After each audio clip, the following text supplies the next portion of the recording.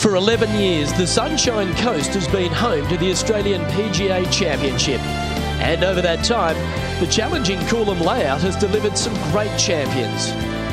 Geoff Ogilvy was a winner in 2008, and he's hoping to cap off a couple of lean years with another. A 67 has him in the mix, as is the evergreen Peter Senior.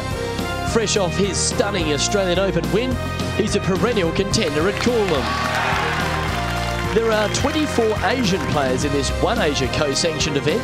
Zhang from China and Chu from Singapore are the pick of the bunch. Northern Ireland's Darren Clarke has struggled since lifting the claret jug, but he looks back in the groove. WA's Scott Strange, a two-time winner in Europe, also needs a return to form.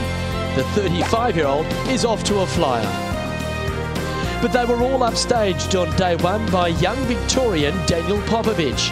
A rookie on tour, he announced himself to the world with an opening 64. Will his birdie blitz continue? We'll find out in round two of the PGA.